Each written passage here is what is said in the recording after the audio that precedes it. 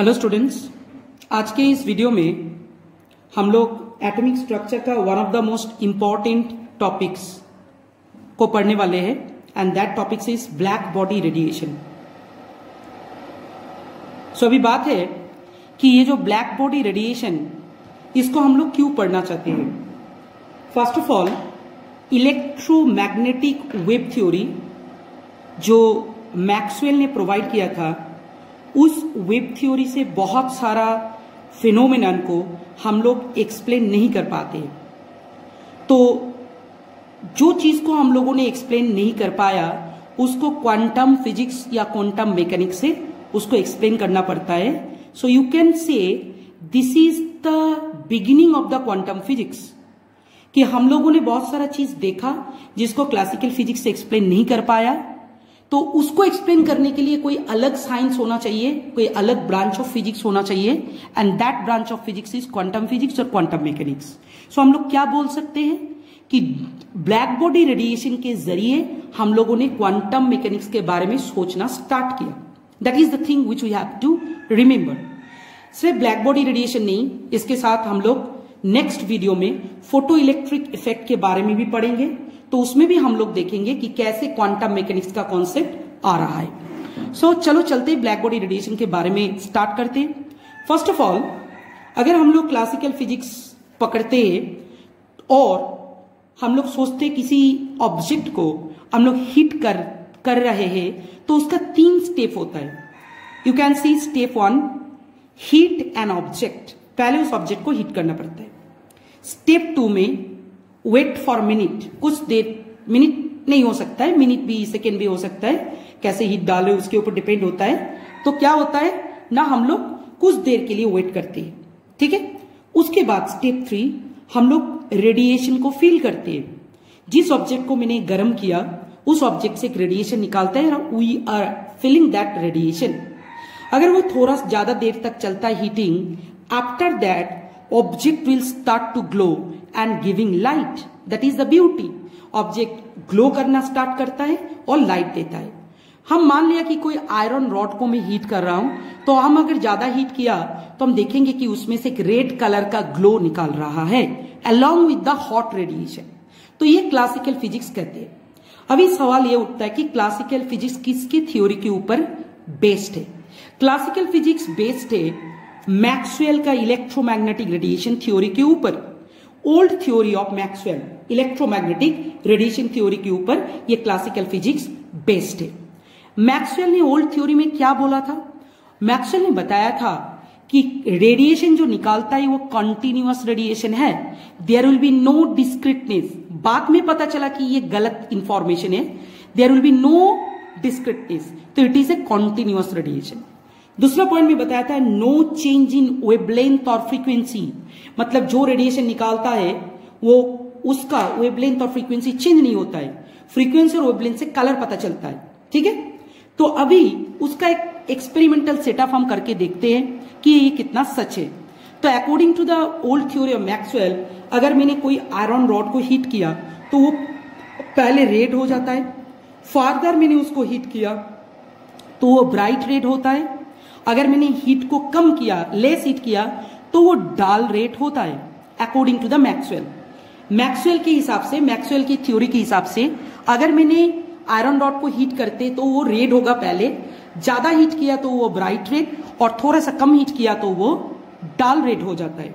तो इसमें देखने का बात है कि the red colour red colour is constant ठीक है? इस बात को पता करो कि ये जो रेड कलर है, ये रेड कलर कांस्टेंट है दैट इज़ द ब्यूटी तो हम इसमें से कॉन्क्लूशन ड्रॉ कर सकते हैं from the Maxwell's electromagnetic theory red is constant and according to the old theory given by the Maxwell red colour का शेड चेंज होगा। मतलब कभी ब्राइट कभी डाल कभी नॉर्मल रेड ऐसा होगा। लेकिन कलर चेंज नहीं होगा। और क्या चेंज होगा? हम लोग बता रहे कि रेड ब्राइट रेड हो रहा है, कम ब्राइट हो रहा है, और ज़्यादा ब्राइट हो रहा है। इसका मतलब है intensity will change this thing is a very important line intensity will change according to the Maxwell's electromagnetic radiation theory मतलब there will be no change in wavelength and frequency, rather intensity will change. Intensity change होगा, इसीलिए red से bright red bright red से डाल red ऐसा हम लोगों को मिल रहा है। That is a beauty okay तो एक्चुअली ये चीज़ सच नहीं है। सच क्या है उसको हम लोग पता करते तो अभी हम लोग देखेंगे कि ओल्ड थ्योरी से क्वांटम मैकेनिक्स के बारे में थोड़ा सा पता करेंगे। क्वांटम फिजिक्स का जो कॉन्सेप्ट आया, वो आया, मैंने बोला अभी तक ब्लैक बॉडी रेडिएशन से। तो सपोज़ मैं पहले पता करता हूँ कि एक ऑब्जेक्ट है। इस ऑब्जेक्ट के ऊपर लाइट आके जब गिरता है तो there will be three possibilities ये लाइट ऑब्जेक्ट के द्वारा एब्जॉर्ब हो सकता है रिफ्लेक्ट हो सकता है ट्रांसमिट हो सकता है। ये तीन इंसिडेंट हो सकता है। आइदर एब्जॉर्ब नहीं तो रिफ्लेक्ट नहीं तो transmit that is the thing which we have to remember लेकिन ये जो ब्लैक बॉडी है सपोज़ मैंने कंसिडर किया this is a black body black body को याद रखना it is a ideal condition ये रियलिटी में नहीं होता है आइडियल कंडीशन है। जैसा हम लोग जब फिजिक्स में कोई न्यूमेरिकल करते थर्मोडायनेमिक्स में हम लोग करते पिस्टॉन लेके तो उसको हम लोग वेटलेस फ्रिक्शनलेस पिस्टन समझते। फ्री बॉडी डायग्राम में जो पुली का मूवमेंट होता है, उसको हम लोग फ्रिक्शनलेस पकड़ते।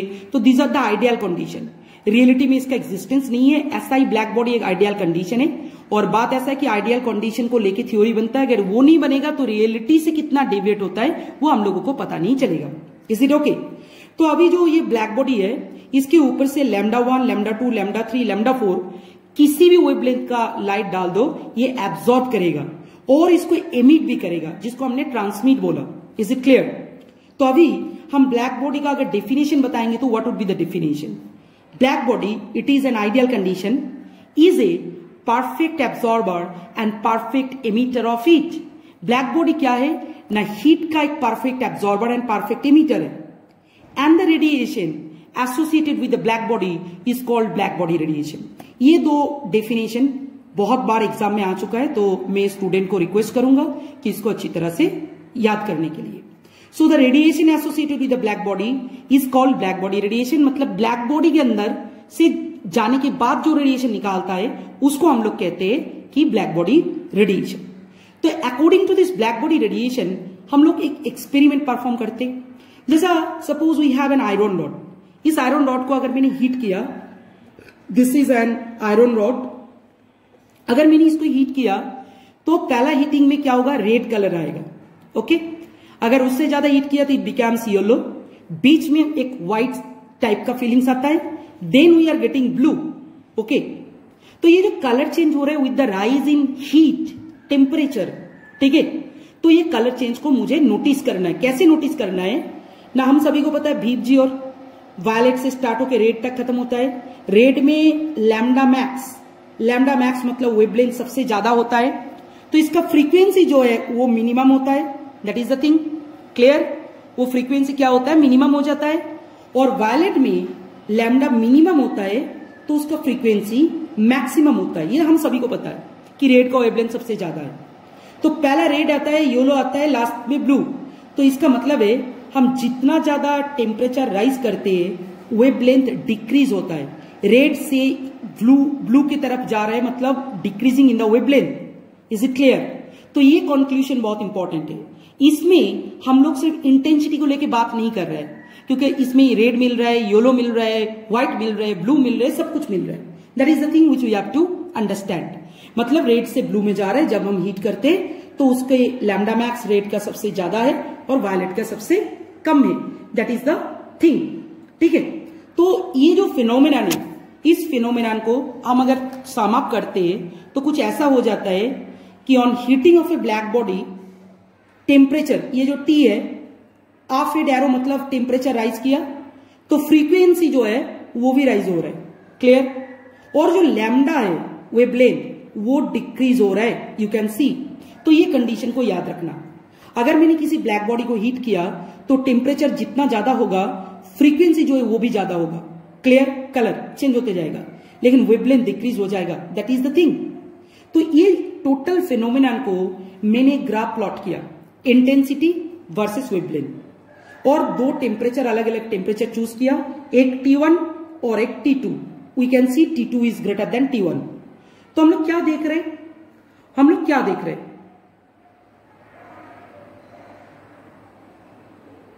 ब्लैक बॉडी से जो रेडिएशन एमिट होता है, वो एक्चुअली टेम्परेचर के ऊपर भी डिपेंड होता है।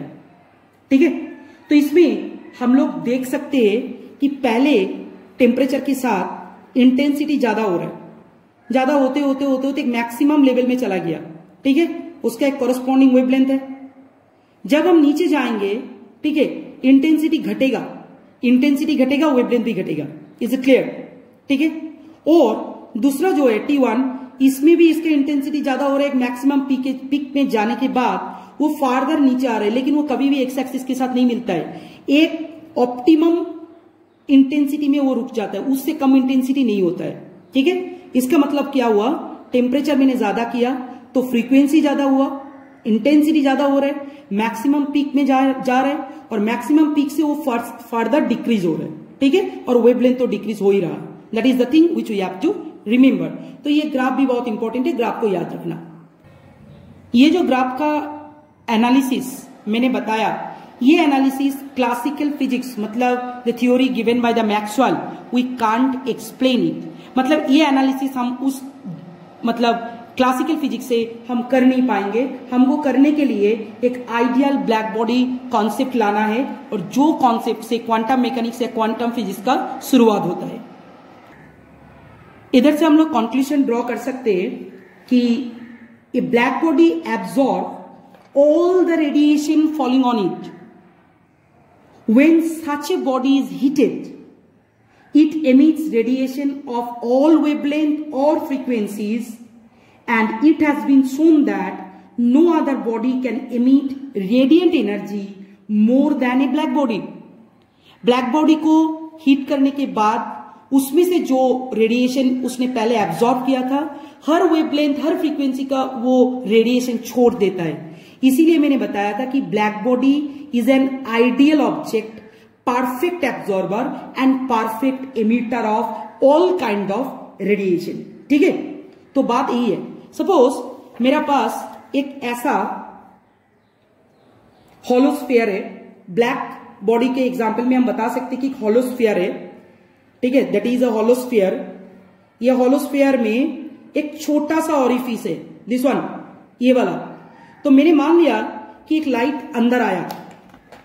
एक लाइट अंदर आया। ओके तो ये लाइट इस ऑरिफिस से अंदर आ रहा अंदर आके ऐसा ऐसा रिफ्लेक्ट करता है।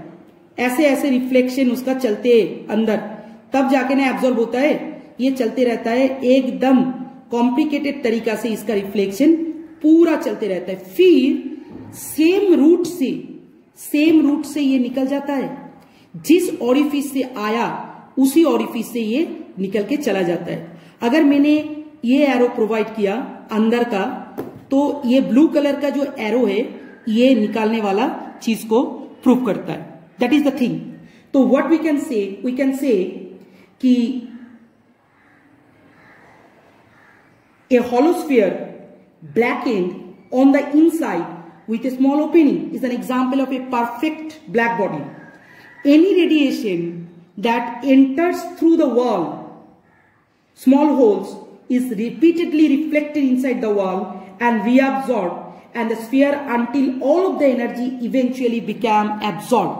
मतलब इसके अंदर जितना रेडिएशन अंदर आया पूरा इसका रिफ्लेक्शन हो रहा है मल्टी रिफ्लेक्शन होके इसके अंदर ये एब्जॉर्ब हुआ जब इस ऑब्जेक्ट को मैंने हीट किया, जितना ये डिफरेंट डिफरेंट रेडिएशन को एब्जॉर्व किया था, पूरा रेडिएशन को ये ऑब्जेक्ट से निकाल देता है। That is why we can say black body is a perfect absorber and perfect emitter of light okay और parallelly the radiation associated with the black body is called black body radiation तो आज का lecture इसी में, इसी position में खत्म होता है। हम लोग नेक्स्ट लेक्चर में फ़ोटो इलेक्ट्रिक इफ़ेक्ट के बारे में पता करेंगे। उतना तक थैंक यू वेरी मच